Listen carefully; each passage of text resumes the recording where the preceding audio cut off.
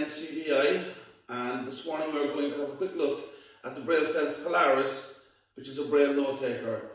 Just to give you a brief history of the Braille Sense suite. Initially we had the Braille U2 note taker. The device we have here this morning with us is the Braille Sense Polaris and the Braille Sense Polaris has been recently updated to the Braille Sense 6. So again, obviously, one one of these devices is an upgrade on the other.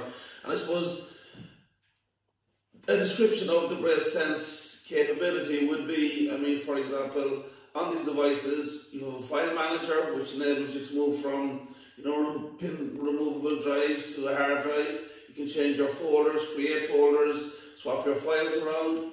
You can create your Word documents, you can create your note documents, you can do your emails, you can use various um, web options, which essentially would be different options that the device gives you to access web pages and to go onto the internet, do quick web, Google searches, etc.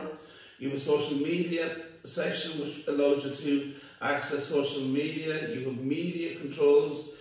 You have utilities which would be, you know, would allow you, for example, connect to external devices. You have extras such as calculators and stopwatches. You have you have your settings option here which allows you to change the various settings on the device. And again the menu structures are quite similar on these devices from you know from device to device, i.e. from the Braille Sense U2 to the Braille Sense Polaris to uh, more recently the Braille Sense 6. And again, if I could just give you a quick outline or a quick description of the physical layout of the machine, and I suppose some of the main buttons are the main ports on this device that we would be concerned with as Braille users would be right here at the very back of the machine we have the power port. Now again obviously that just gives us direct power from a power source like a socket but it also allows us to charge the internal battery on the on all of these devices. Again on this Braille Sense Polaris we have two physical volume buttons over here on the, the left edge down towards the front of the of the device as you look at it and you have a physical volume up volume down button.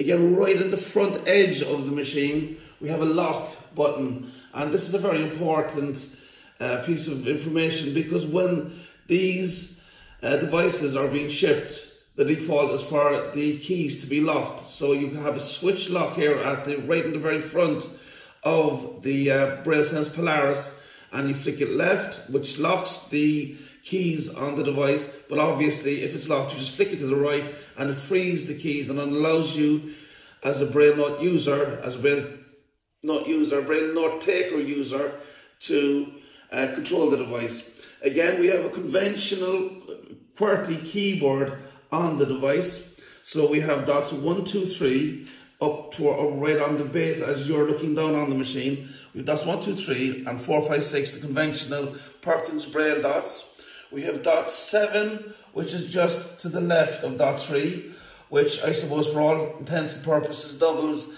as the backspace, but combined with other keys, other keys will form part of a certain keystroke. For example, um, backspace and function key uh, two will switch the voice off on the uh, Braille Sense Polaris. Again, we have uh, dot 8, which is just to the right of dot 6.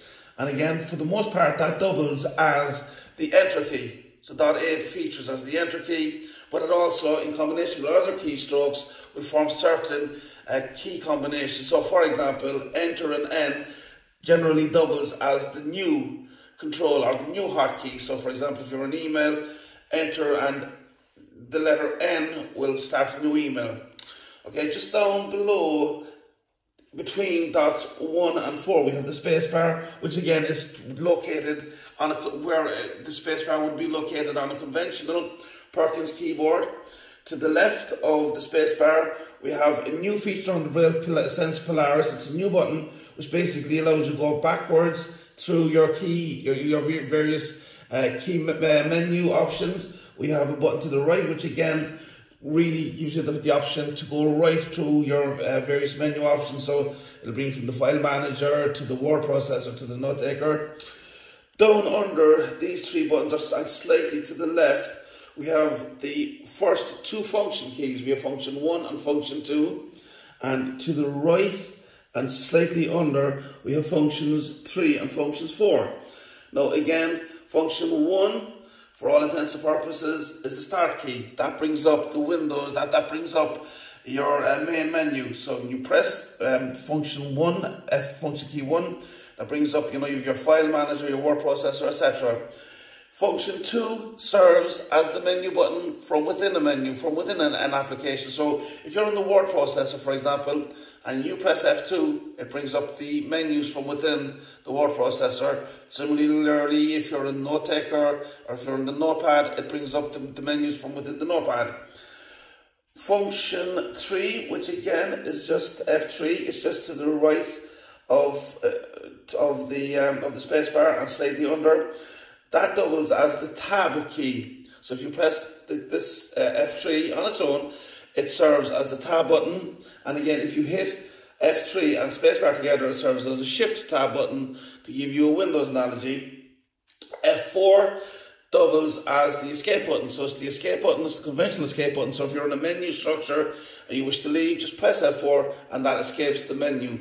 And again, as I've already illustrated, if you press any of these function keys, function F1 to F4 in combination with another keystroke, then that will carry out a, a separate uh, keyboard shortcut function. So for example, if you do backspace, if you do 7.7 or backspace and F3, it toggles the braille feature on or off.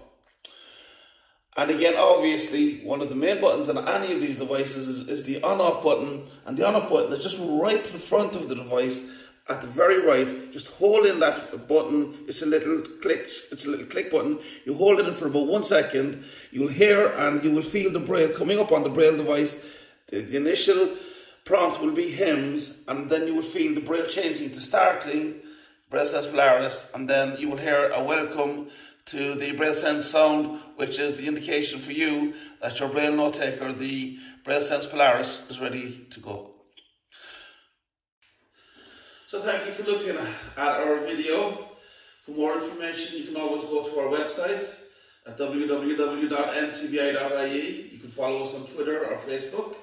You can always check out our YouTube channels, or you can always just send us an email to labs at ncbi.ie and we guarantee we will follow up on your inquiry.